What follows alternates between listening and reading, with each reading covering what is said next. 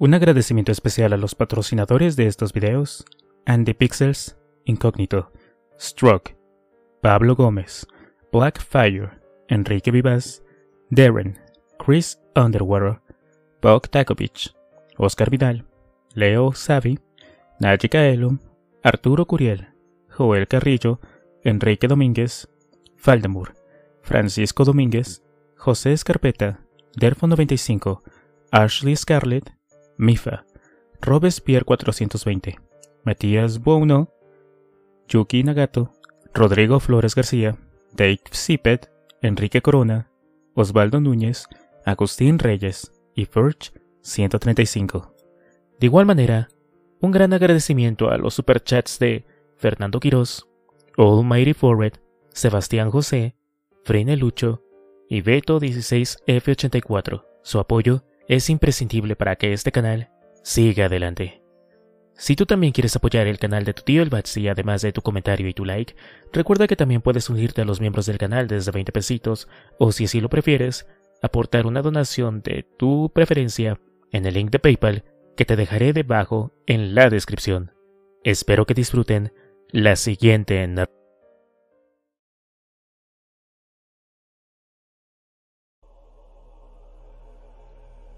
Capítulo 11 Una comida de dioses A las 10 de la mañana la caravana se puso en marcha. Fue en ese momento cuando Mark cayó rendido en su asiento. Se había pasado toda la noche en vela. Aunque apenas necesitaba descansar, el taqueteo del vehículo y el sol que entraba por la ventana lograron vencer su resistencia. El viaje estaba siendo bastante rutinario. Rodaban por la AP2 a toda velocidad, que era capaz de darles el vehículo, topándose muy de vez en cuando con algún que otro automóvil solitario que circulaba por el carril contrario, en dirección hacia Dios sabía dónde. Por su lado solo vieron a un vehículo, pero que circulaba en dirección contraria, de frente, directo hacia ellos por lo que la teniente Mirela tuvo que esquivarlo para evitar una colisión frontal. ¡Puto loco! exclamó con bastante enfado al pasar por su lado a toda velocidad. ¿Dónde demonios irá con tanta prisa? Por ahí solo hay zombies y destrucción, dijo el capitán Navarro. Debe de ser el héroe del turno que va en busca de algún familiar perdido en tierras catalanas, añadió Mirela. De vez en cuando, cuando más de lo que les gustaría, tenían que esquivar a algún zombie que deambulaba perdido por la autopista. Las primeras veces se detuvieron para ir volándoles la cabeza, pero al cabo de unas veinte, tal vez treintena, cansados, decidieron esquivarlos y punto. Aunque lo que más les preocupaba era dónde demonios estaría la horda de zombies que había abandonado las zonas costeras, que iban desde los Pirineos a Valencia. Estaba claro que no se habían esfumado y que la normalidad no había vuelto a la península, o al menos eso indicaba el estado de la autopista por la que circulaban. Así que aquella masa ambulante de cadáveres debía seguir masacrando cuanto encontraban a su paso. Posiblemente, de haber seguido a Mark despierto, habrían podido evitar el espectáculo que tuvieron que contemplar alrededor de una hora más tarde, tras pasar cerca de Villafranca de Ebro. El sargento Pommer se encontraba al mando de la autocaravana mirando de reojo los pechos situados de su superior, de modo que se limitó a conducir hacia el oeste de forma automática, esquivando los vehículos que de vez en cuando se encontraban abandonados. De esta forma se aproximaron demasiado a Zaragoza, por lo que el sargento, sin pensárselo dos veces, dirigió el vehículo hacia la autopista de circunvalación. Allí pudo comprobar que la presencia de vehículos era notable. Eh, ¿Por qué demonios? dijo Tony, al observar la autopista atestada de autos que iban de un sitio a otro de forma caótica. El ruido de sus compañeros hizo que Mark despertara de repente y que se llevara las manos a la cabeza con gesto de dolor, como si le fuera a reventar. Entonces, sin poder evitarlo, comenzó a proferir sonoros gritos. ¿Qué, qué pasa? Se apresuró a preguntarle a Tony acercándose hasta la cama. No, no lo sé. Es como si me fuera a reventar la cabeza, dijo meseándose los cabellos. Ha sido como un espasmo repentino en mitad del sueño, como si... Mark no logró acabar la frase. Apenas levantó un poco la cabeza cuando pudo ver por el cristal frontal que había más allá de la zona donde estaban. Están aquí. Todos están aquí, dijo Mark de forma críptica. ¿Quiénes? preguntó la teniente Mirella, acercándose. Los zombies. Todos. ¿Pero por qué demonios hace eso ese sargento imbécil? Nos está llevando directo hacia ellos. Fue entonces cuando todos prestaron atención y vieron la ciudad de Zaragoza por el cristal, escupiendo humo desde muchos de sus edificios. No sé cómo salir de aquí, dijo justificándose el sargento Pomar. Intenté no entrar, pero esto es infernal. No hay Dios que se oriente. Esto está diseñado por el mismísimo diablo. El diablo. Pero serás inútil, dijo Mark fuera de sí, en una actitud poco propia de él. Parecía que en cualquier momento iba a lanzarle un mordisco a la yugular. Nos estás conduciendo a la muerte. Quita de ahí inmediatamente. Y sin esperar respuesta empujó al sargento fuera del asiento del conductor, haciendo que el vehículo estuviera a punto de salirse de la calzada. Pero nadie se atrevió a decir nada al respecto. Eh, tranquilos, es común en él tener malos despertares, dijo Tony a modo de disculpa, aunque nadie parecía hacerle caso. Sin duda se ha levantado con jaqueca. Mark no abrió la boca. Se limitó a intentar esquivar todos aquellos vehículos que tenían enfrente. Circulaban sin ningún sentido por ambos carriles, y en ambos sentidos, y sin el más mínimo respeto por las normas de circulación. Tony y el resto de los ocupantes del vehículo creyeron en varias ocasiones que iban a chocar, pero en una última instancia Mark siempre lograba enderezar el rumbo. Aún así, llevaban la marca de los guardarriales en ambos laterales del vehículo. Miraran a donde miraran, el paisaje era de una ciudad en vías de destrucción con muchos edificios en llamas y gente corriendo de un lado para otro, aunque lo peor era el sonido, que había estallado casi de repente. Habían pasado del más absoluto silencio al completo caos, conformado por el ruido de los vehículos que iban de un lado a otro haciendo sonar el claxon y colisionando entre ellos, aunque la siguiente sinfonía fue todavía más dolorosa. El sonido de una ciudad agonizante fue también de forma súbita como si el propio viento quisiera hacerles partícipes de la estrategia en la que se venía la tragedia que se estaba escribiendo a pocos metros de ellos. Sirenas de ambulancia y policías, disparos por doquier y lo peor, siempre lo más horrible de aquellos casos, el griterío de la gente intentando salvar sus vidas de forma desesperada. Una nueva tragedia se sumaba a la larga lista de las presenciadas por Mark y el resto de los acompañantes. Aunque poco podían hacer excepto intentar huir del lugar y contar con alguna posibilidad de luchar otro día con mejores circunstancias y con alguna oportunidad, por más mínima que se presentara. En varias ocasiones, Mark Giró la cabeza hacia la ciudad, en mitad de aquel trance en que se estaba sumiendo. Parecía estar sintiendo una leve llamada. No tenía muy claro si era para unirse al resto de sus pseudo compañeros o para acudir al rescate del grupo de humanos al que él creía seguir perteneciendo. Fuera lo que fuera, desechó la idea por completo y siguió conduciendo intentando escapar de aquel espeluznante paraje. Al poco logró dar con una salida que indicaba Madrid. Por desgracia, muchos otros parecían ver en aquella ruta el camino al paraíso, o al menos la huida del infierno, por lo que la autopista estaba atestada. Mark se maldijo por aquel fallo de novato al ver el monumental atasco formado frente a él, que estaba siendo aprovechado por los zombies para darse un banquete con los ocupantes de los vehículos. Estos indefensos intentaban escapar para darse de bruces con sus caníbales perseguidores, pero él no lo dudó ni un momento. ¡Agárrense fuerte! dijo segundos antes de dar un volantazo y reventar el guardarriales que tenía a su derecha inició así una carrera campo a través, que poco después sirvió de ejemplo al resto de los conductores que haciendo lo propio comenzaron a seguirle. Hay que reconocer que sabes cómo manejar un vehículo, dijo la teniente Mirela. La caravana, pese a sus ruedas grandes y resistentes, estaba poco preparada para aquella superficie irregular, por lo que avanzaba a trompicones, daba tumbos de forma continua y levantaba una polvarada monumental, así que Marker redujo la velocidad. Se trataba de llegar a Madrid cuanto antes, pero sin errores que pudieran condenarla. Por los retrovisores podía ver varios de los vehículos perseguidores con las llantas destrozadas o volcados, de modo que convenía tomárselo con calma. Con ir a 30 o 40 kilómetros por hora bastaría para mantener alejados a los cientos de zombies que habían iniciado la persecución de todos aquellos autos. Una vez dieran con alguna carretera en dirección oeste, la cogerían y podrían retomar el ritmo. No fue hasta el cabo de unas horas, tras bordear un bosque, cuando vieron algo relativamente parecido a una carretera. Aquella ruta estaba asolada de baches y muchos tramos de asfalto levantado. Algo es algo, dijo Mark para sí mismo con tono de satisfacción y sin soltar el volante. Tenía una determinación casi enfermiza en su mirada que imponía el suficiente respeto como para que nadie osara cuestionar nada de lo que estaba haciendo. Durante unos segundos, al llegar a una bifurcación, Mark dudó sobre el camino que debía seguir. Intentó ubicar el norte contemplando el sol hasta decidirse por el tramo que continuaba hacia la izquierda. A lo largo del resto del camino, Mark Continuó callado, siguiendo solo su instinto y mirando los indicadores del vehículo. Poco a poco, a través de aquel desértico camino de cabras, lograron llegar hasta una carretera secundaria, donde el vehículo logró retomar parcialmente su ritmo. Aunque apenas 15 minutos más tarde, paradojas del destino, la caravana comenzó a frenarse con lentitud hasta detenerse por completo. Me lo temía, dijo Mark. ¿Qué? ¿Qué sucede? ¿Hemos pinchado? preguntó la teniente Mirela, acercándose a Mark y sujetándose así, con disimulo el brazo con sus manos. Me temo que no. Creo que nos hemos quedado sin gasolina, confesó Mark mientras escuchaba el lamento general de los compañeros.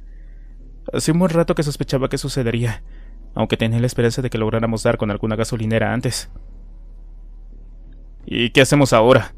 preguntó con tono desesperado el sargento Pomar. Creo que cuando a estos cacharros se les acabe el combustible, lo habitual es echarles gasolina. Bromeó Tony intentando no sonar demasiado hiriente. Convendría no perder el tiempo y ponernos en marcha cuanto antes, dijo el capitán Navarro. Comencemos a caminar antes de que se ponga el sol. Debemos dividirnos en dos grupos, respondió Mark señalando con la mano. Si se fijan a pocos metros de aquí la carretera se divide de nuevo. Genial. Esto mejora por momentos, dijo el sargento Fomar. Yo iré hacia el norte, dijo Mark haciendo caso omiso al sargento. Y en todo caso viajaré junto a To... Mi capitán. Si le parece bien, yo le acompañaré. Se adelantó la teniente Mirela, sin dejar acabar la frase a Mark. Sí, está bien. Intentemos encontrar algo de gasolina y regresar cuanto antes, respondió el capitán Navarro. Que el primero que localice algo de combustible regrese a la caravana. Démonos un máximo de seis horas antes de volver para comprobar si el otro grupo localizó algo. También podríamos hacer un disparo al aire para comunicarnos en caso de localizarlo, dijo el sargento Pomer. Sí, claro, y alertar de esa forma a cualquier muerto viviente que pueda haber en la zona, ¿no?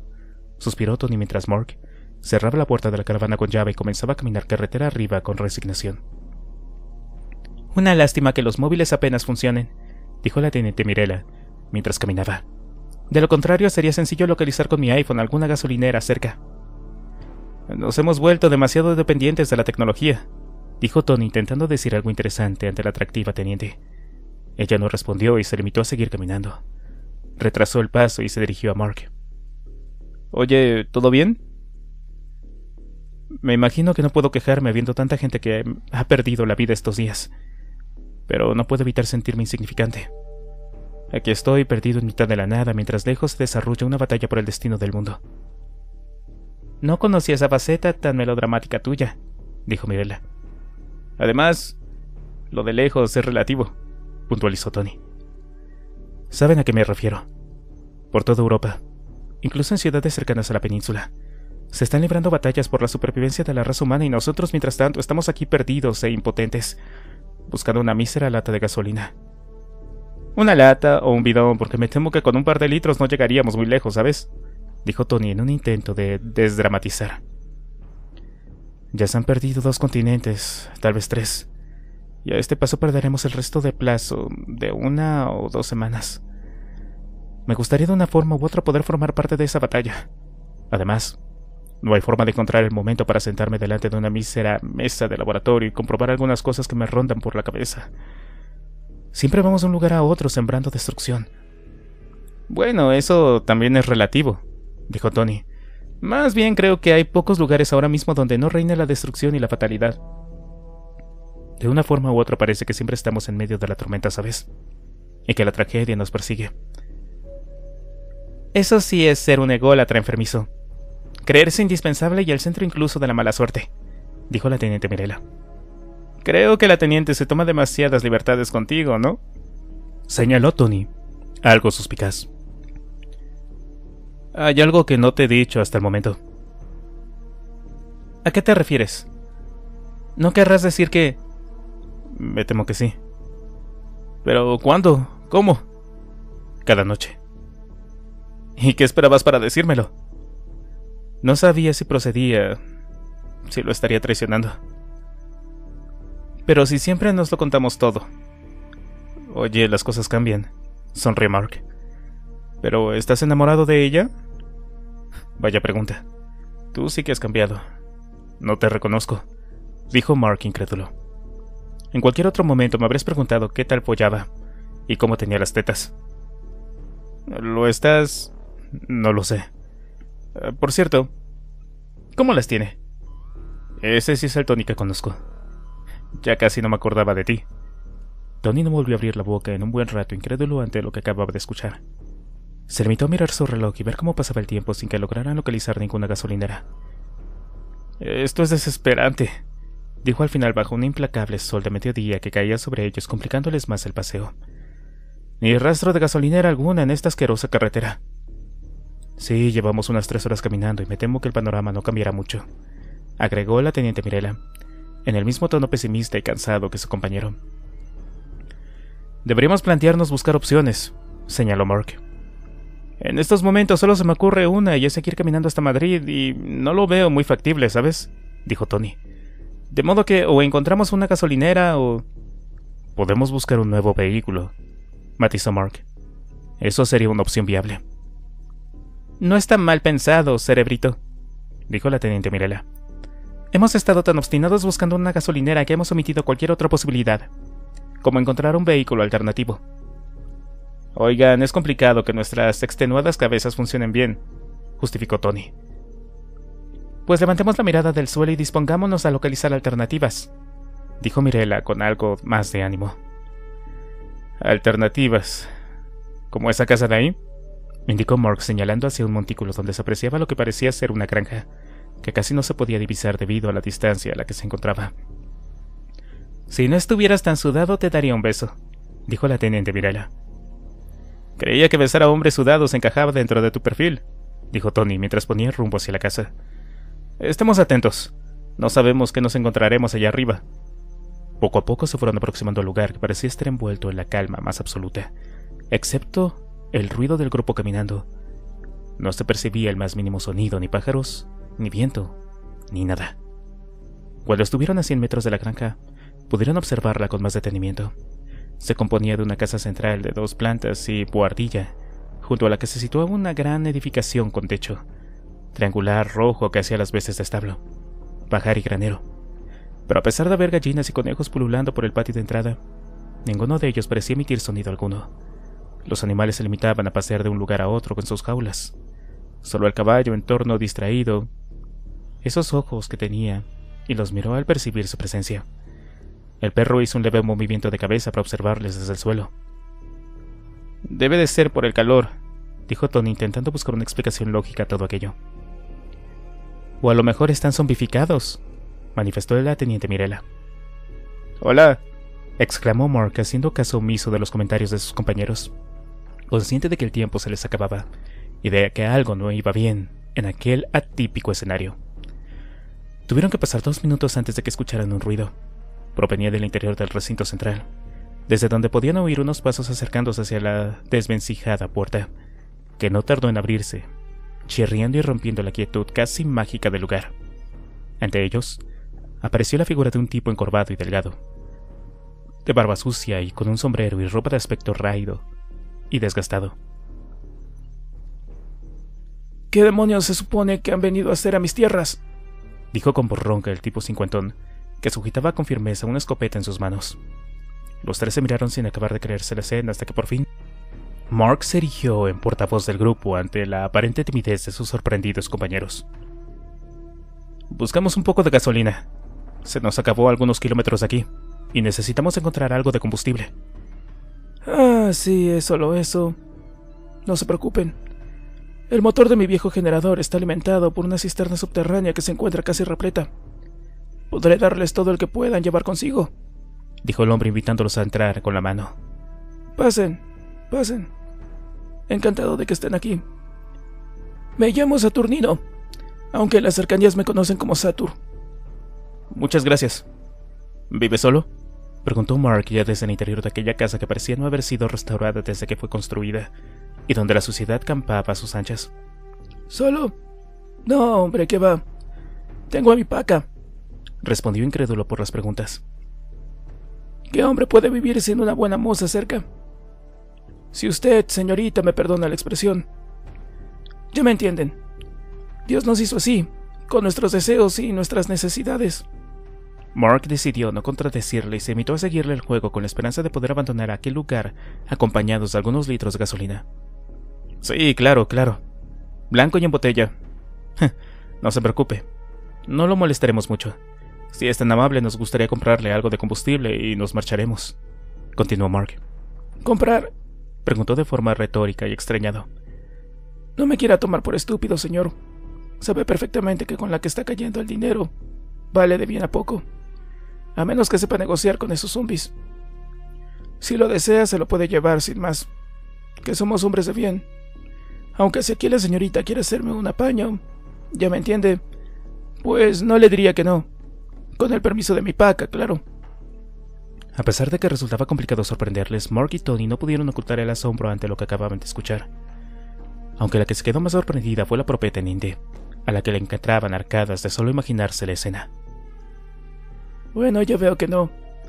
Que la chica es una estrecha a pesar de llevar el uniforme del ejército. Sí, al final son todas iguales.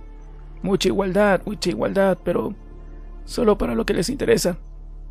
En fin, si supieran el tiempo que hace que no me hacen una buena mamada. Sin pagar, claro. Y diciendo esto abrió una puerta, por la que asomaban unas escaleras que conducían al sótano.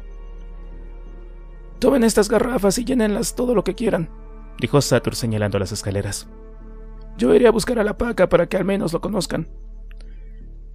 No solemos tener muchas visitas por estos lares, al menos no vivos. Y diciendo esto, soltó una carcajada que heló la sangre de Mark, que ya bajaba por las mal iluminadas escaleras. Había estado a punto de advertirle a Satur que tuviera cuidado, ya que, tal y como presentía con su sexto sentido, con seguridad había zombies acercándose a la zona. Pero al final decidió que si acababan merendándoselo, no supondría una gran pérdida para la humanidad. ¿Qué peste hace aquí? murmuró Tony mientras bajaba. El tipo debe de ganar el premio estatal al porcaso del año, dijo la teniente Mirela, tapándose la nariz como pudo para evitar continuar inhalando aquellos apestosos efluvios. Aquí no ha limpiado nadie desde que levantaron al generalísimo. Mark no dijo nada. Mantuvo el semblante serio mientras pensaba e intentaba unir las piezas a aquel rompecabezas. Algo no le cuadraba de todo aquello y casi ni se sorprendió cuando aquel tipejo cerró la puerta de golpe tras ellos y comenzó a reír enloquecido. ¿En serio que somos estúpidos? se limitó a decir Mark. No sé de qué me sirve saber en ocasiones que hay zombies cerca si luego no puedo ubicarlos con exactitud. ¿Significa esto que...? preguntó Tony. Sí, no hace falta ser muy listo para saber qué hay allá abajo, confirmó Mark. La teniente Mirela se detuvo para intentar escuchar con atención aunque le costó por culpa del ruido del viejo motor de gasolina. Por fin, detectó el inequívoco sonido cultural de los zombies. Me temo que no son ni uno ni dos, dijo la teniente Mirela con la voz temblorosa, en un tono que reflejaba el miedo que sentía y que no molestaba en ocultar. Detente, dijo Morg, aunque la teniente no la escuchó y se limitó a bajar un par de peldaños más, con la pistola en la mano para completar la escena. El sótano estaba en la más profunda penumbra y apenas se distinguían algunas sombras gracias a los escasos rayos de luz que penetraban furtivos por las rendijas de las tablas, que tapaban todos los ventanucos que daban al exterior. El lugar era mucho mayor de lo que era un principio cualquiera de ellos y que hubieran podido dilucidar, o siquiera empezar a sospechar. Se habían hecho obras a conciencia a lo largo de los últimos años y no alcanzaban a divisar el fondo, que se extendía mucho más allá de las escaleras. Mark, hay zombies. Muchos, dijo la teniente Mirella como hipnotizada. La militar era consciente de lo cercana que estaba de la muerte. Rendida a un destino inevitable, permanecía quieta, casi esperando la llegada de aquellas supuestas imágenes de toda su vida que se suponía pasarían por delante de ella. Poco podían hacer contra aquel centenar de zombies, que a grosso modo calculaba que había allá abajo, con el primero de ellos acercándose ya peligrosamente. La escena parecía discurrir a cámara lenta. Hacía apenas cinco segundos desde que la puerta se cerrara y ella buscaba una salida imposible. Desesperada, levantó su pistola para disparar al zombie que ya se aferraba a su muñeca dispuesto a hincarle el diente, cuando sintió la firme mano de Mark que le sujetaba el brazo. A partir de ahí, no entendió nada de lo que sucedía, ya el zombie la soltó casi al instante, como olvidándose de ella y perdiendo todo interés, mientras Mark le estiraba escaleras arriba, y apenas un segundo después recibió un fuerte puñetazo que la dejó inconsciente. Qué coordinación la nuestra, se limitó a decir Tony, y sin planearlo. Me sabe mal, pero no teníamos opción, dijo Mark rotundo. Si queremos mantener nuestra tapadera y no convertirnos en frikis o conejillos de indias del general de turno. Tapadera. Ni que fuéramos zombies infiltrados, ¿o sí? ¿Sabes lo que pasaría si saliera a la luz mi condición de semi-humano capaz de pasar inadvertido entre ellos? ¿Semi-humano o semi-zombie? Sonrió desde atrás Tony. Bueno, ¿y ahora qué hacemos?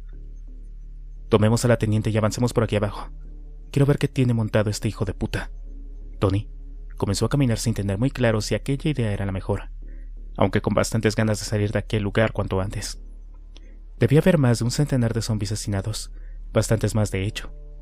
Aunque con su habilidad mejorada para ver en la oscuridad, Mark podía divisar como un poco más delante había una especie de túnel algo más libre de aquellos seres. Vamos, se dijo Mark, decidido mientras empujaba algunos zombies con su hombro. Ve con cuidado, dijo Tony. Los noto más tensos y virulentos de que de costumbre. Deduzco que el efecto del camuflaje se diluye en función del número de personas que estén en contacto conmigo, aunque a lo largo de estas últimas semanas creo que he logrado ejercitarlo. Sí, claro. Imagino que lo potenciaste haciendo ejercicios prácticos con cuadernos de trabajo, leyendo algún manual al uso, ¿no? bromeó Tony, algo tenso, que notaba el fétido aliento de un zombie en su rostro. ¿Cómo es posible que estos seres desprendan algún tipo de hálito apestoso que sí se supone que no respiran y sus órganos no funcionan? Oye, ¿te parece lógico hacer ese tipo de preguntas aquí en medio, rodeados de zombies? Preguntó Mark crispado. Tu necesidad irrefrenable de respuestas se está convirtiendo en un irritante defecto. Al cabo de unos minutos, tras avanzar a duras penas, lograron llegar a una zona menos poblada de zombies. Ah, por fin. Aquí la densidad por metro cuadrado es menor, suspiró Mark intentando inhalar un poco de aire puro en el que llenar sus pulmones y dejando a la teniente Mirella en el suelo sin soltarla. Estoy muerto, como pesa. Lo de estar muerto en tu caso es relativo, y una verdad a medias, bromeó Tony. Oye, ¿podrías ayudar en vez de reírte de los pobres tullidos infectados como yo? respondió Mark, sofocado por el esfuerzo. Aunque ahora que lo dices, tal vez sea el momento de llevar a cabo un experimento. Tony no formuló pregunta alguna, asustado ante la perversa mirada que veía en el rostro de Mark, y por idea que pudiera estar flotando por la, en ocasiones macabra, mente de su amigo. Tranquilo, tan solo será un momento y no dolerá. Eh, espero. Y diciendo esto se zafó de Tony y soltó al mismo tiempo a Mirela. Tony tardó unos segundos a reaccionar, los mismos que tardaron los zombies que les ignoraban hasta aquel momento en girarse hacia ellos con los ojos inyectados en sangre. ¿Estás loco? exclamó Tony al tiempo que notaba la templada mano de su amigo, que le cogía tanto a él como a la teniente. Oye, tranquilo. Solo quería comprobar el tiempo de reacción de estas criaturas, explicó Mark, con inquietante cara de culpabilidad. Aunque es curioso, me dio la sensación de que te obviaban y se fijaban solo en ella. Tony, todavía aterrado, parecía dispuesto a iniciar una perorata de reproche cuando notó de nuevo alejarse la mano de Mark. Pero... No te preocupes, solo quiero comprobar algunas cosas ahora que tenemos la ocasión. Tony, que no sabía si arremeter a puñetazos contra Mark o abrazarlo con todas sus fuerzas para evitar volver a perder el contacto físico con él, decidió limitarse a ver cómo ejecutaba el experimento y rezar para que todo fuera bien.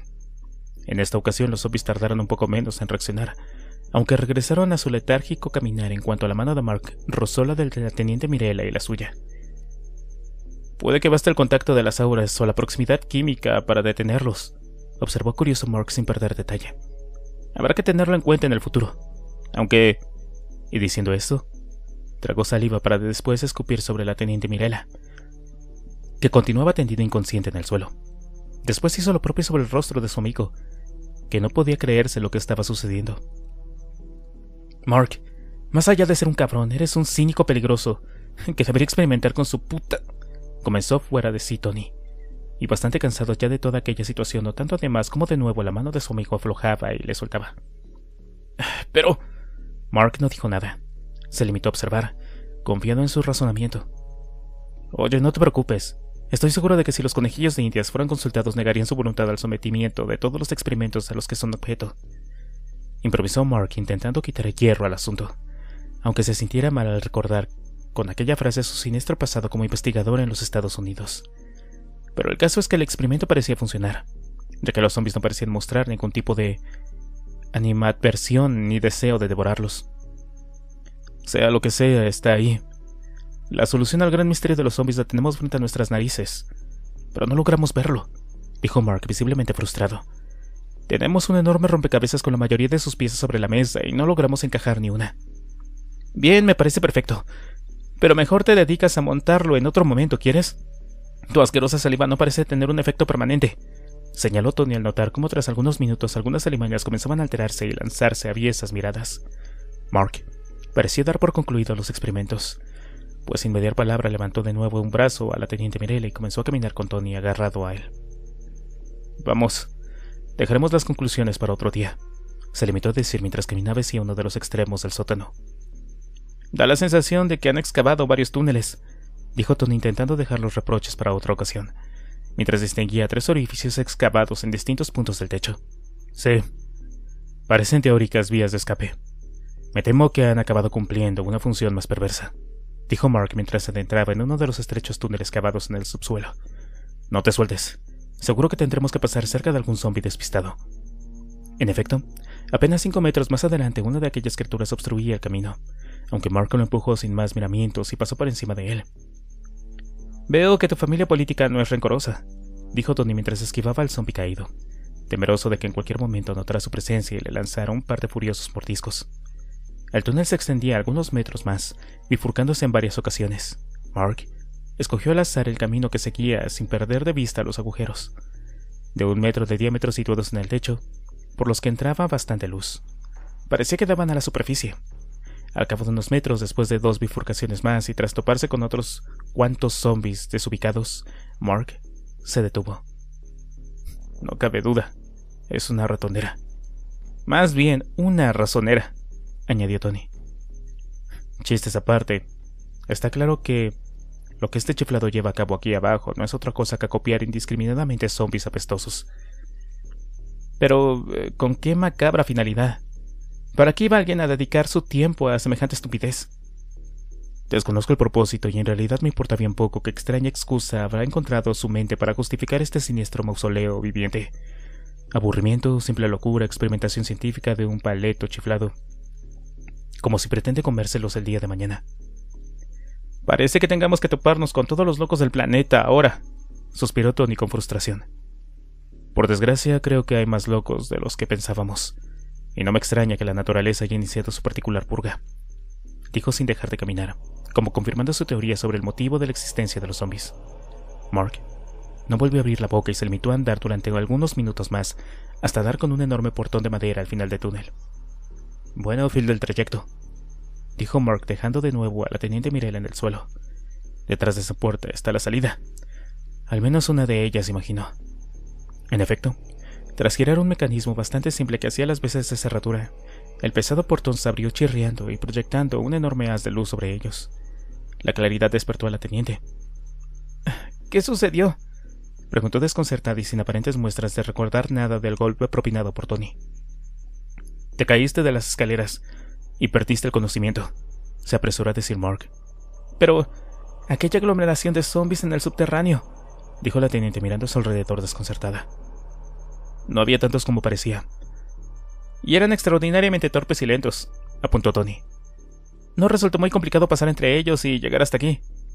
La teniente parecía no escucharlo. Estaba todavía ensimismada.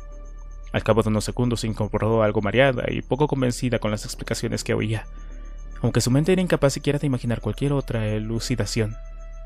Bueno, ¿y ahora? preguntó Tony. Creo que ha llegado el momento de la venganza, dijo Mark pensativo. Aunque deberíamos ser pragmáticos y limitarnos a cumplir con nuestra misión. Lo que traducido significa coger la gasolina y salir corriendo, ¿no? apuntó Tony mientras comenzaba a caminar colina arriba. No te preocupes. Recibirá su merecido, dijo Mark mientras ascendía atento a cuantos le rodeaban. Mira ya a lo lejos. En efecto, a poco menos de un kilómetro se divisaban las huestes zombies caminando bajo el sol y abarcando casi por completo la línea del horizonte. Debe de haber miles, balbuceó la teniente Mirela. Millones. ¿Están todos ahí? corrigió conciso Mark, sin dejar de subir y secándose del sudor de la frente. Deduzco que junto a aquel tanque debe de haber el depósito de gasolina que tanto hemos buscado. Por lo que Busquemos algún recipiente donde envasar el combustible y larguémonos de aquí. Mientras Mark y Tony se dedicaban a buscar cualquier tipo de envase donde recoger el combustible, Mirella decidió caminar hacia la casa para comprobar que Satur permaneciera en ella, e intentar de paso descubrir algo más de aquel lugar. Fue entonces cuando, asomándose por la ventana, contempló otra escena que recordaría durante bastante tiempo. Sentados alrededor de una mesa comiendo con parsimonia estaba Saturnino, junto a un chaval de unos 15 años con aspecto de tener más bien pocas luces. Lo acompañaba una mujer en silla de ruedas que debía ser la tal Paca. Pero lo peor de lo peor era el menú. Sobre la mesa, atado y bien atado, había un zombi que no dejaba de agitarse de forma convulsiva, intentando librarse de sus ataduras, y que al contrario de lo habitual estaba siendo devorado con paciencia con aquella familia de locos. Tenedor y cuchillo en mano, iban cortando con calma al zombi, que no eran conscientes de lo que estaba sucediendo y que no cejaba en su sistemático empeño por morder de aquellos que con templanza le iban devorando poco a poco a él. Mirela, que por su entrenamiento militar se creía inmune a cualquier tipo de vesperpento, comenzó a marearse. En un par de ocasiones temió perder el conocimiento o empezar a vomitar. Saturnino no paraba de hurgar con el tenedor en el intestino de aquel pobre desgraciado, girándolo, como si un vulgar espagueti se tratara, rebuscando y recreándose en aquel cadáver viviente. El chaval, aquel jovenzudo con cara de atontado y mirada perdida, se limitaba a morder un trozo de carne. No sabía de qué era ni parecía sentir el más mínimo interés por descubrirlo. Pero lo peor era Paca. Si el aspecto de Saturnino podía definirse como repugnante, el de su mujer resultaba complicado de calificar. Era grotesca, fea, tanto por la forma de los pliegues de sus arrugas como por las verrugas que campaban por su rostro, gordas como garbanzos. No era de extrañar que estuviera así si su dieta principal estaba compuesta por zombies. Aunque lo peor vino cuando observó cómo de forma disimulada, Paca tocaba en un par de ocasiones el miembro viril del zombie y sonreía con lascividad. Ahí fue cuando no pudo más y vomitó, una y otra vez rezando para que nadie en el interior de aquel manicomio la oyera. Preocupada por haber sido descubierta, asomó de nuevo la cabeza por la ventana, tan solo por descubrir que todos seguían particularmente felices en el festín sin advertir su presencia. Sin deseos de complicarse la vida, se limitó a abandonar la escena y reunirse de nuevo con sus compañeros. Ellos, un poco más abajo, parecían haber logrado reunir varias garrafas y llenarlas de gasolina. Oye, ¿estás bien? preguntó Mark ante la lividez de Mirela. Sí, no te preocupes. Luego les cuento. Pero vayámonos de aquí cuanto antes. Y diciendo esto, agarró dos garrafas de cinco litros y partió junto a sus amigos, refrenando con ganas de regresar y no dejar con vida a ninguno de aquellos malnacidos que acababa de ver. Capítulo 12. Fin de trayecto. Estaba a punto de cumplirse las seis horas pactadas por los dos grupos, cuando Mark divisó a lo lejos la silueta de la caravana. Estaba bastante cansado por el peso de aquellas dos malditas garrafas de gasolina que llevaba consigo, y que resultaban una carga más y más pesada conforme más pasaban los minutos, al principio se sintió un poco preocupado por la teniente Mirella, pero no tardó en darse cuenta de que parecía mucho menos cansada que él, seguramente por su entrenamiento militar. Al alcanzar el vehículo soltaron las garrafas y se aferraron al suelo extenuados. Deberíamos llenar el depósito, ¿no? dijo Tony al cabo de unos minutos. Adelante, todo tuyo, respondió Mark tumbado boca arriba y contemplando las nubes deambular por el cielo. Fue en ese momento cuando de repente escucharon un disparo no muy lejano que les puso a todos en estado de alerta. Lo primero que pensó Tony es que el grupo de tarados de la colina les había seguido, aunque no tardaron en darse cuenta de lo que en realidad sucedía. El otro grupo regresaba a la autocaravana cuando, para desgracia de todos, lo hacían acompañados por un numeroso grupo de zombies que les seguían de cerca, y algunos de ellos corrían como locos. ¡Dispárenles! ¡Atajo de retrasados! exclamaron Mark y Tony cuando los tuvieron cerca. ¿Disparar? Estás loco. Pero tú has visto cómo corren, replicó el sargento Pomar casi sin aire. ¿Por qué huevos tendrá que ver una cosa con la otra? escupió tan indignado con tanta estupidez. Los zombies se supone que no corren, y esos malditos de allá abajo sí lo hacen, continuó el sargento Pomar, con los pantalones ya húmedos. Ergo, no creo que en reventarles el cráneo sirva de mucho. ¿Qué demonios tendrá que ver una cosa con la otra? dijo Mark con pistola en la mano, sin creerse lo que escuchaba. Apuntó, apretó el gatillo y le reventó la cabeza al zombie que lideraba el grupo. Bien, uno menos. Mueren. Mueren como el resto, dijo aliviado el sargento Pomar, que apuntó también con su pistola y acertó a otro de los zombies que se aproximaban a la carrera. Pero... ¿Y si no son zombies? ¿Y si son infectados? Puede ser gente contaminada de algún modo, pero no transformada, dijo vacilante el capitán Navarro. ¿Y qué más da lo que sean? exclamó Tony sin creerse la discusión. Su única intención es acabar con nosotros. ¿Qué no les ven la cara? No pierdan el tiempo y ayúdenos a rellenar el depósito, dijo Mark, contemplando la situación. Son demasiados y no tardarán en llegar sus hermanitos lo lejos. Y no serán solo un par de docenas como esos que vienen a la carrera. Mark y Tony y la teniente comenzaron a vaciar las primeras garrafas en el depósito de gasolina. Intentaron desperdiciar lo mínimo posible a pesar de los nervios, que no eran buenos aliados en aquel momento. Vamos, vamos, gritaba desesperado el capitán Navarro, mientras acertaba de un disparo en la cabeza a otros de los zombies, que a toda velocidad se cernía sobre ellos. Están apenas a 200 metros, se le escuchó decir. Bien, pasemos otra garrafa y larguémonos de aquí. No nos da tiempo de rellenar más, dijo Mork, viendo las decenas de zombies que corrían como demonios hacia ellos. Tony, desesperado, y con los zombies a menos de 100 metros de visual o lejos, a un grupo todavía más numeroso que se acercaba con lentitud. Mark introdujo la llave en el contacto de la caravana justo cuando la primera de aquellas bestias llegaba golpeando con fuerza la puerta. Un segundo y un tercero no tardaron en sumarse, aporriendo con desesperación el cristal delantero. Vamos, vamos, dijo Tony, con impaciencia, rezando para que aquel trasto se pusiera en marcha, y que el combustible con el que habían repostado funcionara y les alejara de aquel lugar. ¿Qué demonios crees que estoy haciendo? preguntó Mark mientras la luna delantera comenzaba a resquebrajarse y cinco zombies más hacían acto de presencia. Por fin, diez segundos más tarde, y con una decena de criaturas aporreando la caravana, el motor se puso en marcha. Gracias al cielo, suspiró Mark apretando el acelerador al máximo y llevándose por delante a los tres zombies que tenía enfrente. Intenta consumir lo mínimo posible, recomendó Tony. Calculo que con lo que hemos puesto tenemos que llevar para correr unos 150 kilómetros. Alejémonos todo lo que podamos de ellos. Llenemos el depósito con el resto de las garrafas y busquemos una gasolinera. El vehículo tardó alrededor de una hora y media para quedarse sin gasolina, momento en el que aprovecharon para vaciar el resto de los recipientes en el tanque de combustible. Todo ello sin apartar la mirada de la carretera, como esperando que en cualquier momento perecieran al galope aquellos seres infernales. Son implacables. Caminan noche y día sin parar, suspiró el capitán Navarro. En efecto, caminan y caminan sin importarles si por el camino se les interpone un río, una cordillera o el mismísimo infierno, dijo Mork. Siempre encuentran la forma de salvar cualquier tipo de obstáculo. Veo que te has levantado optimista, apuntó la teniente Mirela, asomando la cabeza por la ventanilla. Puedes hacer todas las bromas que quieras, dijo Mork, pero apostaría lo poco que llevo encima a que seguiremos así hasta que solo quede un puñado de humanos sobre la faz de la Tierra. E incluso ellos continuarán confiados, pensando que el problema se resolverá pronto. O solo. Solo son zombies descerebrados, dirá el último de nosotros antes de que le muerdan. Bien, pero... Filosofadas al margen. ¿De dónde han salido esos que corrían? Preguntó alguien del pelotón. Bueno, ¿y a quién le importa? ¿Quién sabe? Esquivó Mork. La cuestión es que estén ahí y que vienen de todos los lados de la costa mediterránea. Si no vamos con cuidado, nos encontraremos rodeados por completo por esos carroñeros del demonio. ¿Rodeados? Imposible.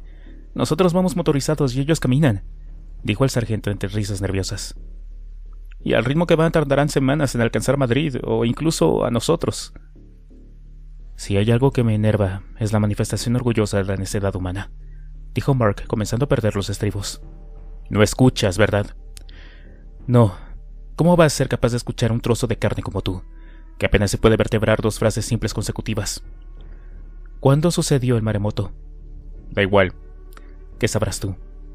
A la velocidad de esos monstruos hace días que debieron llegar a Valencia, Alicante o incluso Málaga. ¿Málaga? Está usted loco, contestó el sargento algo molesto por el tono de Mark. No consentiré que un civil chiflado me falte el respeto, y menos un lunático alarmista. El sargento Pomar no logró acabar la frase cuando Mark lo agarró por las solapas del traje de camuflaje, lo alzó varios centímetros del suelo y lo golpeó contra una de las paredes de la autocaravana. ¿Loco? ¿Me está llamando loco alguien que no sabe hacer una puta división? Le espetó Mark fuera de sí. El sargento asustado logró a duras penas desenfundar y apuntar al científico en el pecho, todavía con los pies colgando. ¿Vas a disparar? Miserable hombrecito. Soltó un Mark furibundo, sintiendo como aquella rabia incontrolable le invadía, aunque intentando recuperar el control de todo. Vamos, imbécil. ¿Qué esperas? Tony y el coronel Moore fueron los primeros en reaccionar a separarlos, no sin miedo de que el arma de fuego desenfundaba algo de demencia, y que acabara la misma vertiendo su contenido sobre uno de ellos. Valencia. Debió caer hace días.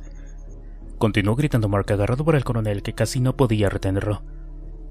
Hay 350 kilómetros de distancia con respecto a Barcelona y esos seres caminan entre 6 y 5 kilómetros por hora. En un día pueden recorrer unos 120 kilómetros, de modo que en tres o cuatro días tuvieron que llegar a arrasarlo todo. Mientras Mark notaba cómo su cerebro lograba dominar el ansia, el resto del grupo reflexionaba ante lo que acababan de escuchar, sin prestar más atención al rostro desencajado de su compañero. pero, ¿eso quiere decir que...? Se detuvo el coronel Moore. Podrían estar ya en Madrid. En efecto, les hubiera bastado unos siete u ocho días en recorrer los 600 kilómetros entre ambas ciudades, aunque deduzco que se habrán ido deteniendo por el camino para ir nutriendo sus filas con cuantas localidades hayan ido topando, dijo Mark algo más calmado. De modo que, por favor, valoren un poco más al enemigo o serán la perdición de todos nosotros. Nadie más habló a lo largo de las siguientes horas. Mark se limitó a permanecer en silencio intentando mantener la calma, ya que poco a poco había comenzado a notar el inicio de un fuerte dolor de cabeza, que iba aumentando en intensidad y cuyo origen desconocía. No tardaron en localizar una gasolinera abandonada donde pudieron rellenar tanto el depósito como las garrafas, en previsión de que volvieran a estar escasos de combustible. Poco a poco, rotándose al volante, se fueron acercando a Madrid a gran velocidad, con la esperanza de no volver a tener ningún imprevisto o encuentro inesperado. Debemos estar aproximándonos. Hemos pasado cerca de Guadalajara, dijo el sargento Pomar, sujetando con fuerza el volante y apretando a fondo el acelerador. Sí, aunque no hubiera estado de más tomar en la gasolinería un mapa de carretera en sus condiciones, ¿sabe? protestó Tony. Con las comunicaciones caídas, no podemos confiar en los GPS. Mark miró a su amigo desde el asiento del copiloto mientras permanecía pendiente de la calzada por donde circulaban a toda velocidad de la mano de aquel sargento inconsciente, que justificaba aquella celeridad argumentando no haber visto otro vehículo en kilómetros a la redonda. Fue entonces cuando sucedió.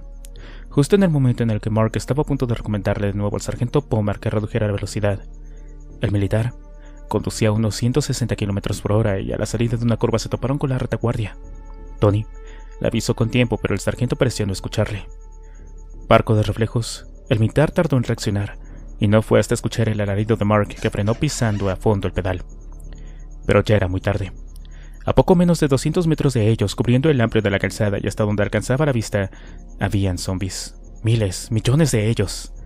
La carretera huyó unos segundos, sintiendo como ella toda la intensidad, las gomas, el neumático de la frenada y todo lo demás del auto sonaba sobre la misma. El sargento Pomar, en un intento por esquivarlos, quiso salirse de la autopista, pero solo logró que la caravana diera algunos bandazos y trompicones antes del choque, contra los zombies que cerraban la comitiva. El impacto fue tremendo, amortiguado solo por el cuerpo de algunas alimañas que caminaban desperdigadas. El sargento, que por mero postureo nunca se ponía el cinturón de seguridad, salió disparado por el cristal delantero. Eso fue lo que le salvó la vida a sus compañeros. El cuerpo del sargento se estrelló contra los sorprendidos zombies, que no parecían estar muy interesados de momento en el contenido de aquel trasto de ojalate y comenzaron a disfrutar desmembrando a aquel pobre desgraciado caído del cielo. Entre chillido y chillido del pobre militar, los integrantes del vehículo fueron recuperándose del impacto y del shock, e intentaron recuperar la orientación. Son... alcanzó apenas a balbucear la teniente Mirela. Sí, zombies. Millones de ellos. Rodeándonos. Dijo Mark al descubrir el origen de su dolor de cabeza y llevándose la mano a la sien. Sintió como un hilillo de la sangre le caía por el costado derecho de esa. No puede ser. No puede ser. Hay tantos. Repetía sin cesar la oficial mientras el capitán Navarro permanecía frente al cristal rezando para que ninguno de aquellos seres se percataran de su presencia. Me temo que tendremos que abandonar la caravana, dijo flemático el coronel Moore, esperando que alguien tuviera una brillante idea para que él se le escapara en aquellos momentos. Si es que ellos nos dejan. ¿Abandonarla? ¿Pero a dónde podemos ir? Estamos rodeados. Dijo Tony conteniendo los nervios, sin dejar de preguntarse constantemente si la habilidad de Mark serviría de algo en aquellas circunstancias, con tantos zombies y siendo ellos cinco en aquel momento. Lo mejor será permanecer ocultos, dijo Mark, e intentar que no nos vean, con la esperanza de que se vayan siguiendo su camino. Tony empezó a retroceder hacia la parte trasera de la caravana en silencio, aunque su alegría duró poco. No hicieron el más mínimo ruido, pero aún así, uno de los zombies que se encontraba devorando al sargento Pomar giró su cabeza con lentitud hasta casi desencajarla y entró en contacto visual con los ocupantes de la caravana. Fue en aquel preciso momento cuando el zombie abrió la boca y soltó una especie de graznido, que provocó que la teniente Mirella vomitara. Había intentado controlar las náuseas para no expeler el contenido de su estómago y mostrar lo que consideraba un síntoma de debilidad. Cosa complicada, ya que podía escuchar con total claridad el sonido de aquellos malditos engendros masticando al vecino sargento. Lo siento, dijo limpiándose la boca. No lo entiendo. Se supone que no son capaces de emitir sonidos. No lo eran. Al menos hasta hace unos segundos, dijo Mark atónito. Supongo que algunos de ellos en algún momento cercano y en algún punto del planeta lo ha logrado por fin, y se ha producido una mutación colectiva simultánea entre ellos. Se han sincronizado. El resto de sus compañeros no tenían muy claro lo que Mark había pretendido decir, pero les daba igual. En aquel momento, no les importaba lo más mínimo si aquel bicho gritaba, recitaba Shakespeare o cantaba ópera. Los había visto. Estaban rodeados, y la situación no podía resultar más crítica. Capítulo 13. La paz. Los hombres llevaban unos 40 minutos zarandeando rítmicamente la caravana, golpeándola una y otra vez de forma sistemática y aburrida, para mareo y desconcierto de sus ocupantes.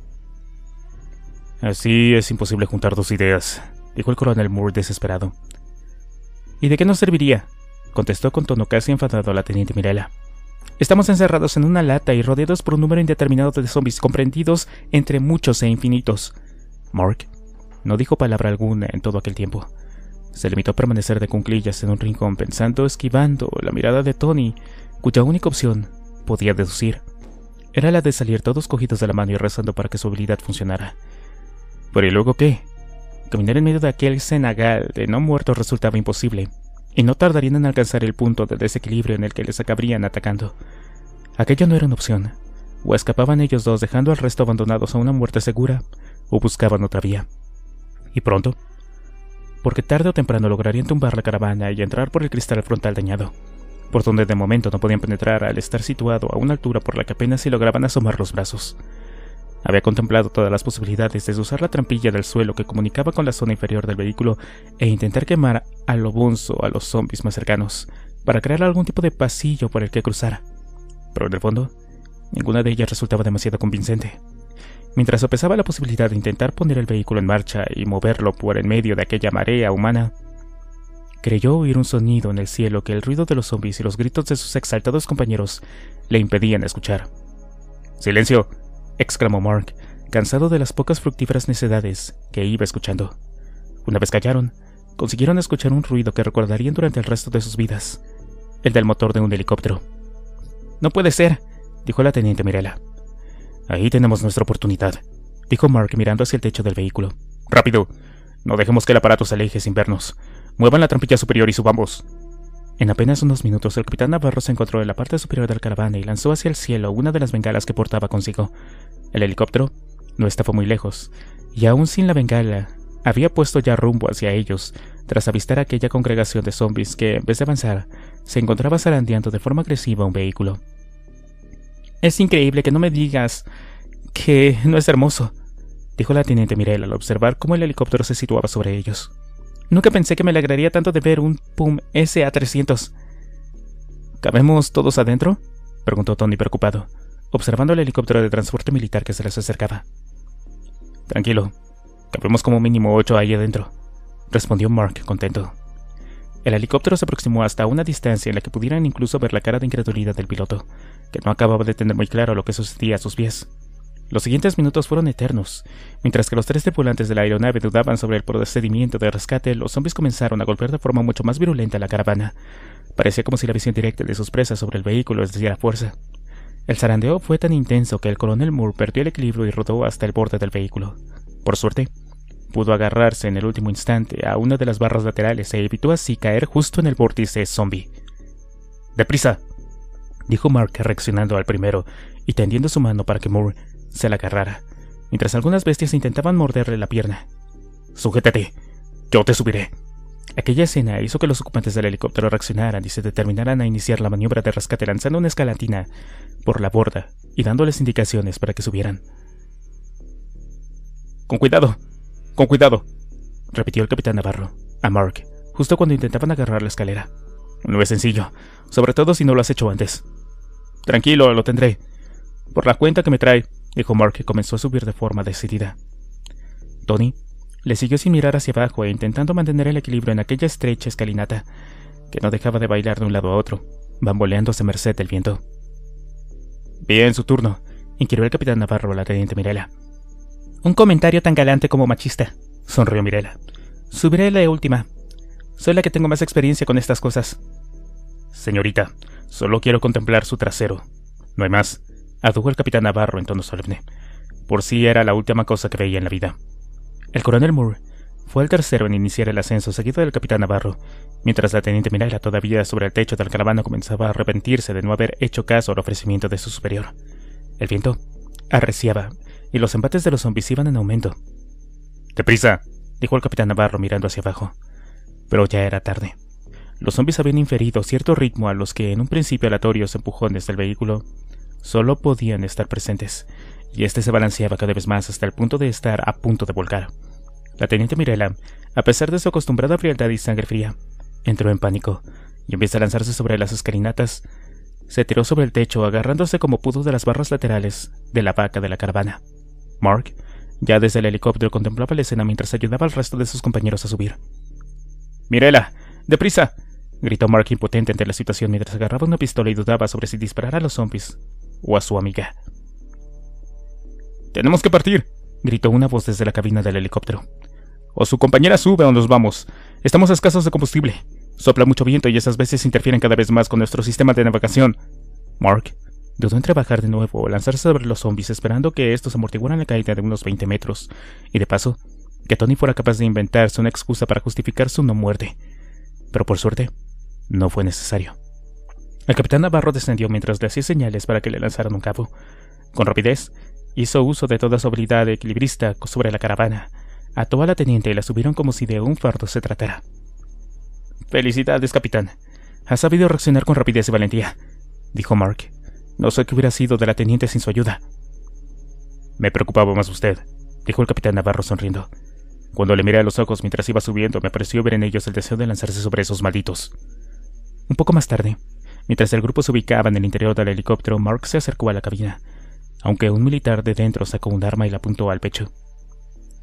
Permanezca en la parte trasera del helicóptero, dijo, y no dé ni un paso más, o muy a mi pesar tendré que hacer uso del arma.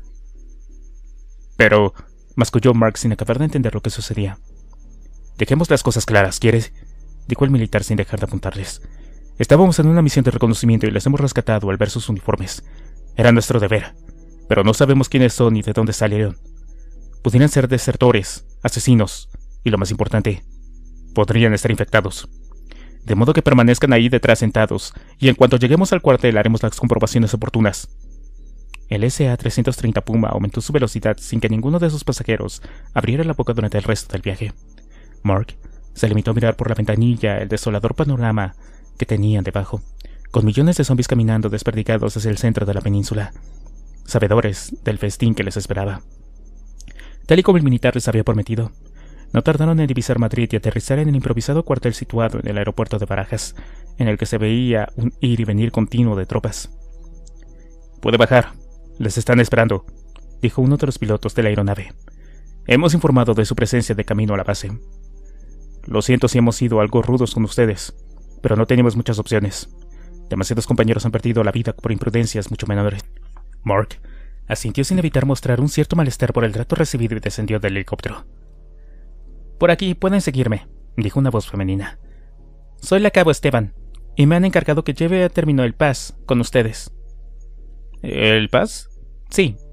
Es relativamente reciente, respondió la cabo Esteban. El protocolo de actuación Z para con los recién llegados. No sabía que existiera eso, dijo el capitán Navarro. Si lo supiera no sería reciente, añadió con sonrisa forzada la cabo. Síganme, por favor. No les llevará mucho tiempo. Prefirieron no discutir con aquella inquietante militar. Mark caminó tras ella seguido del resto del grupo, preguntándose en qué consistiría el dichoso paz. Tras pasar por varios pabellones, llegaron hasta un hangar en, en cuyo interior había todo tipo de personas enfundado en patas blancas. Pueden pasar, y no se preocupen. No los pincharemos, dijo la cabo Esteban, incapaz de relajar su semblante incluso cuando formulaba un comentario supuestamente gracioso. A menos que alguno se porte mal, claro. Eh, ¿Puedo preguntar en qué consiste con exactitud el paz? dijo Tony adelantándose a su amigo en la pregunta. Por supuesto. Están en su derecho de hacerlo, como yo lo estoy de no responderles, dijo ella sin perder su inalterable y perturbador rictus. Pero no será el caso. Y como además están siendo tan buenos huéspedes, satisfaré su curiosidad. El sistema PAS es, como decía, relativamente reciente e incorpora tecnología de última generación soviética. Se podría decir que los rusos se han apiado de nosotros y han decidido compartir parte de esos conocimientos para evitar nuestra completa aniquilación. Se trata de un aparato que es capaz de controlar los niveles de contagio de cada uno de nosotros. ¿Ven este brazalete tan mono que llevo en mi muñeca? Pues se trata del Paz. Es pequeño, ligero y hasta podría decirse que bastante cuco. En apariencia casi como uno de esos antiguos relojes digitales. Solo que en vez de que la hora se muestre en él, si el portador está contagiado y desarrollando la mutación, es su funcionalidad. Una vez que el indicador llega a 10, se produce una pequeña explosión que acaba con su portador. Pero se trata de una medida anticonstitucional que va en contra de cualquier derecho de la intimidad, ¿no?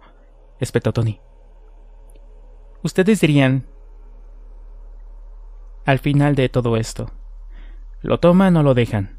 dijo escueta e inalterable la cabo. Nadie les va a obligar a llevarlo, pero tengan por seguro que la otra opción sería una expulsión inmediata de este centro militar y de la ciudad. Es lo que hay. Apreciemos más nuestra seguridad que su privacidad. Además, no creo que ninguno de ustedes tenga nada que ocultar, ¿o sí? Y con una mueca que aspiraba la sonrisa, comenzó a repartir los brazaletes. Tengan solamente cuidados. Son caros. Sonrió de nuevo al cabo. Se acostumbrarán pronto y verán que no es para tanto. Uno tras otro, se lo fueron poniendo hasta llegar al turno de Mark, que lo agarró con desgana, y tras pensárselo durante unos segundos recordando su condición de semi-zombie, se lo colocó en la muñeca. Nada. El silencio, aunque no le dio tiempo ni a suspirar de alivio, ya que en unos segundos el aparatito de marras comenzó a pitar como si se hubiera vuelto loco. ¿Qué sucede? exclamó Tony sin acabar de ponerse su brazalete. ¡Mierda! ¡Está infectado! exclamó uno de los soldados que había en la sala mientras corría para alejarse de Mark. ¡Va a explotar! ¡Aléjense ya! La cabo Esteban, situada justo junto a Mark, miró el indicador con asombro al observarlo situado en el 10 y le propinó un empujón alejando de ella mientras me escuchaba un sincero. Lo siento. Mark se tambaleó y dio varios pasos hacia atrás por el empujón. Finalmente, cayó de culo al suelo mientras rezaba para que la explosión solo cercenara su mano y pudiera sobrevivir. Miró a su alrededor, contemplando la cara de asombro de Tony y al resto de los soldados correr de un lado para otro. Y de nuevo el silencio. La alarma cayó de repente, dejando de emitir un infernal sonido. Fue la cabo Esteban la primera en aproximarse a Morg, con el arma en la mano, y con claras indicaciones de que no se moviera del lugar. ¡Quieto! Quiero asegurarme de que el trasto funciona, le dijo mientras le situaba el cañón del arma en la cabeza, y le agarraba la muñeca con fuerza para mirar el indicador. ¿Cero? Pero eso no es posible. A nadie le ha marcado nunca cero. La cabo se apartó. Cogió de inmediato su transmisor para solicitar instrucciones a sus mandos, cuando de nuevo la alarma comenzó a sonar por todo el recinto. ¿Qué demonios está sucediendo? exclamó la militar viendo el desconcierto general que intentaba ubicar la procedencia del sonido. Lo siento. Para ir ganando tiempo decidí coger otro de esos trastos y probarlo, dijo Mark, señalando su pulsera y levantando las manos en señal de rendición. Pero parece que también debe de estar estropeado. ¿Podrían esperar unos instantes antes de comenzar a acribillarme y ver si funciona bien? La acabó. Sin soltar su pistola, se acercó al tiempo que la señal de la alarma disminuía hasta desaparecer. Esto es de lo más extraño que he visto en semanas. Cero. También indica cero. Tony, tomando la iniciativa, cogió otra de las pulseras y se la puso. Por tercera vez la alarma comenzó a sonar hasta detenerse, aunque esta vez casi nadie pareció prestarle atención. Lo siento, no he podido evitarlo se disculpó mientras Mark le lanzaba una mirada de desaprobación. Los militares parecían desconcertados. Hablaban entre ellos, intentando encontrar una explicación. No se preocupe, dijo por fin Mark, mientras Tony intuía que por la mente de su compañero debía estar pasando alguna improvisada idea que explicara lo inexplicable. Tony y yo fuimos usados de conejillos de indias inyectados con un suero que en teoría nos hacía inmunes a la infección zombie. E imagino que de ahí toda esta locura discordante con respecto a sus aparatos de nueva generación. Increíble. Debe de ser el humano más humano sobre la faz de la Tierra entonces, dijo con cara de sorpresa la cabo Esteban. Sin duda mis superiores estarán interesados en interrogarlo llegando el momento. Me parece bien. Pero si no les sabe mal, creo que después de tantas emociones nos merecemos descansar un poco, indicó Mark mientras Tony le miraba como exigiéndole una respuesta a todo aquel misterio. Sí, por supuesto. Eh, mi compañero les indicará a todos ustedes dónde pueden alojarse a la espera de que les cite, dijo la cabo antes de retirarse. Capítulo 14. Ascenso imprevisto. Señores, espero que sepan comprender el retraso de esta audiencia, dijo circunspecto un coronel de cinco estrellas dándoles la bienvenida a la sala. Pero los acontecimientos se están precipitando y nuestro tiempo se ha pasado de muy limitado a casi inexistente.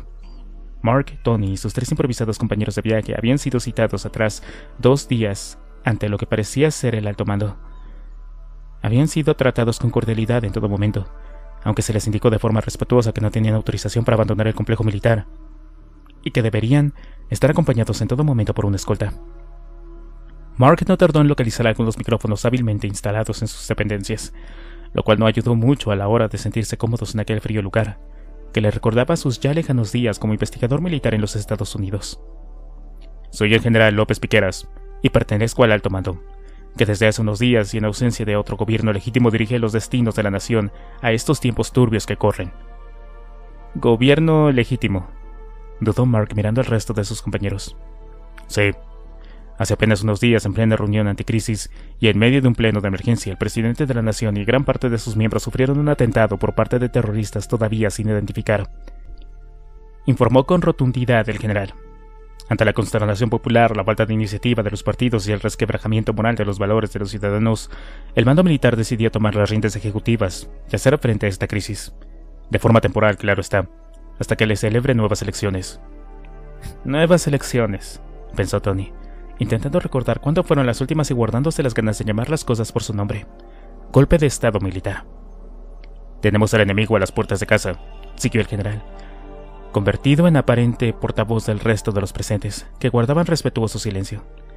Y conviene tomar decisiones rápidas, precisas y eficaces, medidas impopulares, claro. Como las de abandonar a su suerte soldados como si de escoria prescindible se tratara. Vaya, imagino que usted debe ser el capitán Navarro, dijo el general López Piqueras, con una cínica sonrisa en la boca que heló casi de forma literal la sangre de Mark. Veo que insiste en su discurso, incluso después de ver las consecuencias devastadoras de aquello a lo que nos enfrentamos si seguimos con esa política paternalista enfocada a salvar cuatro vidas de forma puntual. Cuatro vidas. Querrá decir cuatrocientas, continuó exaltado el capitán. Son unos asesinos frívolos y sin escrúpulos, que actúan aprovechando el miedo de los que los rodean. Y nos están empujando al abismo. Le recomiendo, señor Navarro, que modere su discurso y recuerde lo que está orden directa. Es... Y el resto, que el respeto que se le debe a su superior, nunca lo vaya a olvidar, apuntó el general saboreando cada palabra. ¿O qué? ¿Tengo acaso que obedecer a un general golpista que parece salido de una película de serie B? El general cayó. Pareció estar a punto de decir algo en un par de ocasiones, pero finalmente escogió desenfundar su pistola y apuntar con ella al capitán Navarro. Y cuando todos los presentes esperaban escuchar la orden de arresto sobre el capitán Discolo. Lo único que oyeron fue un disparo. Mark no podía creer lo que veía. Un reguero de sangre salía del pecho del que fuera su compañero de viaje durante aquellos días. pero... alcanzó a decir Mark. Nadie tuvo ocasión de reaccionar, pues apenas unos segundos más tarde el general avanzó dando dos pasos más. Se situó sobre el cuerpo del capitán y disparó de nuevo, reventándole la cabeza como si de un melón se tratara. Lo siento, pero no nos podemos permitir el lujo de que se levante dentro de un rato dijo con toda la calma del mundo, y diríase cierto regocijo al capitán López Piqueras, ante la incredulidad que todos los presentes, incluso del rostro de generales presentes, tenían en la cara. Aunque como siempre digo, Espero una insurrección que una resurrección. De modo que hemos matado dos pájaros de un tiro. O dos, para ser más exactos. Nadie dijo nada, como si todos esperaran que de repente el capitán Navarro se levantara y todo hubiera sido una broma. Pero no. El cadáver permanecía en el suelo, sangrando, manchando de rojo la superficie sobre la que se había esparcido parte de su masa encefálica. Vamos, no me miren así, dijo el general a sus compañeros alzando teatralmente las manos. Ya sabían a lo que se exponían cuando iniciaron este camino conmigo, de modo que ahórrense la charla si discrepan. Solo hice lo que debía de hacerse, el trabajo sucio que ninguno de ustedes se atreve a hacer. Por cierto, cabo, llame a alguien para que limpie esos despojos. La cabo, con rostro consternado, se retiró casi agradeciendo la oportunidad de salir de la sala. Usted está loco, explotó Mark sin tiempo para medir sus palabras. Es un megalómano hijo de puta, un dictador de mierda. Vaya, vaya. Otro rojo indeseable, dijo el general sin perder la sonrisa. Usted debe de ser el inclito Marquititos, el bastardo cabrón que jodió la operación Apocalipsis Island en Mallorca. El tarado capaz de escapar de la muerte incluso tras ser desterrado en un maldito continente plagado de zombies y de negros salvajes. El tipo con más suerte del mundo, que se las apaña para cruzar medio país infectado de zombies. Es usted increíblemente escurridizo y es sin duda un placer poder conocerlo al fin. Me gustaría poder decir lo mismo, pero lo único que veo ante mí es a un dictador de mierda. Es usted un asesino, un oportunista. Alguien, alguien que va a poner fin a su vida si dice una palabra más, dijo el general López Piqueras. Vamos, dígala. Mi arma está impaciente por seguir impartiendo justicia. Ya basta, dijo un segundo general entrando en la sala. ¿Se puede saber qué ha sucedido aquí? Nada, mi general. Dando las lecciones básicas de conducta, respondió López Piqueras. Como les iba diciendo a los presentes, la insubordinación tiene un precio bastante alto estos días, y por desgracia el capitán Navarro lo ha tenido que experimentar en su carne propia. Por la autoridad moral, espiritual y fáctica que me ha concedido la nación española y el pueblo europeo, no me ha quedado más remedio que hacer uso de ella. Ese hombre habla siempre como si estuviera sobre el escenario de un teatro, murmuró Tony cansado de la recargada oratoria del general. Pero nadie habló de ejecuciones submarinísimas, sin juicios, respondió la recién llegada voz del general Serrano. Se habló de instalar la pena de muerte, que es lo que acabo de hacer. Y se seguirá haciendo con aquellos que se interpongan en nuestro camino, no el de España y de la humanidad en general. No hay tiempo que perder, y menos con manzanas podridas. ¿No lo crees, sí? Parece salido de la España franquista, dijo Mark intentando controlar su ansia interior y notando cómo su cuerpo le pedía arrojarse sobre aquel militar y despedazarlo. Se merece todo lo que le pueda pasar. Ya le advertí de lo que iba a pasar si no se callaba, el general López Piqueras, alzando su arma. No, gritó el coronel Moore, callado hasta aquel momento perplejo ante lo que estaba sucediendo y algo desubicado por culpa de su escaso manejo del español. No puede hacer eso, ¿Y ustedes? dijo López Piqueras, girando la cabeza sin perder de vista a Mark o al general Serrano. El coronel Moore, del ejército de los Estados Unidos, enviado en una misión especial de Europa en busca precisamente del señor Mark del Castillo. El general López Piqueras dudó durante unos segundos. Su cabeza parecía sopesar las consecuencias de un conflicto internacional, hecho que aprovechó el coronel Moore para proseguir con su discurso. Señor, el gobierno de los Estados Unidos requiere la presencia inmediata del señor Mark del Castillo para unos asuntos de máxima prioridad, dijo medio en inglés, medio en español. Me parece perfecto, señor Moore, pero no creo que tenga jurisdicción sobre un ciudadano español en suelo europeo. El señor Mark tiene la doble nacionalidad, y mi grupo venía en misión especial con autorización directa de Bruselas para actuar en suelo europeo tras las circunstancias que todos conocemos. Intentó hacerse comprender Moore, en todo caso, se trata de un civil coronel, sobre el que no tiene autoridad alguna. Error general. El señor Mark del Castillo alcanzó la graduación de comandante durante mi estancia en mi país. Perfecto. Un coronel y un comandante. Le recuerdo que están en presencia de un general, y espero que todos tengan los estudios mínimos necesarios para no tener que recordarles el escalafón militar. Error de nuevo, dijo el coronel Moore. Llevo varios días intentando convencer al señor Mark para que se reincorpore a filas, y pueda llevar a cabo su misión, y eso llevaría un ascenso inmediato. Un ascenso, dijo el general López Piqueras, empezando a perder la compostura, amparado en su ventajosa situación de poder. Estoy algo cansado de toda esta perorata. De modo que le sugiero que no se ande por las ramas y vaya directo al grano. Directo al grano, dijo sin comprender la expresión utilizada por su interlocutor, y está esperando con ello más todavía el general López Piqueras. Sí, hijo, que sea más directo, le instó el general Serrano. El coronel Moore, intentando ocultar su nerviosismo, sacó un sobre sellado de uno de los bolsillos de sus uniformes. Bien, aquí tiene, señor, dijo entregando el sobre al general Serrano, para evitar la confrontación directa con el general López Piqueras. El general Serrano se tomó su tiempo para abrir el sobre lacreado, como esperando sacar más de sus casillas al normalmente tranquilo López Piqueras. Leyó con calma el contenido del sobre y miró a los presentes al tiempo que el coronel Moore comenzaba a hablar de nuevo. Señor, como verá por la autoridad a la que represento y en virtud de la carta que tiene en sus manos, el comandante Mark del Castillo queda ascendido al rango de general del ejército de los Estados Unidos. ¿Qué demonios me está usted diciendo, joven? dijo fuera de sí Piqueras. ¿General del ejército? Sí, señor. El equivalente a mariscal de campo.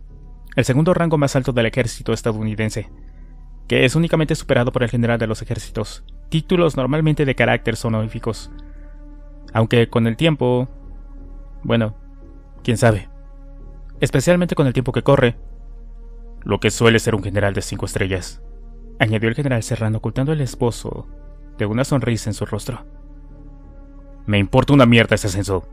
Muéstrame esa carta de inmediato. Carece de autoridad alguna. Aquí tiene, dijo el general Serrano, que aguardó unos segundos antes de continuar. Viene firmada por el mismísimo presidente de Estados Unidos, el presidente de... balbuceó desconcertado el general López Piquera. Sí, señor. Fue una de sus últimas órdenes en el cargo como gobernador de toda la nación, dijo el coronel Moore. Poco después comenzó la disgregación de mi país, aunque incluso ahora tiene validez.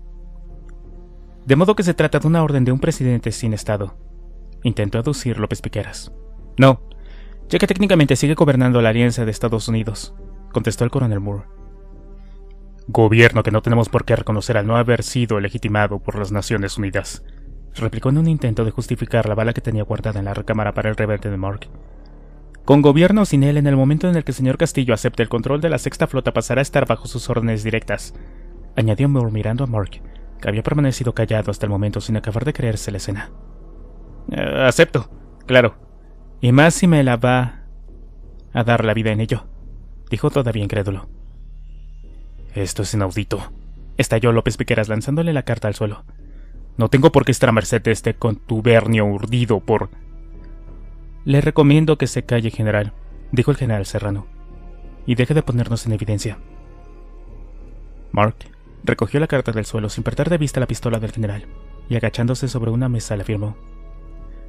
Señor, la sexta flota o lo que queda de ella espera sus órdenes en el Mediterráneo.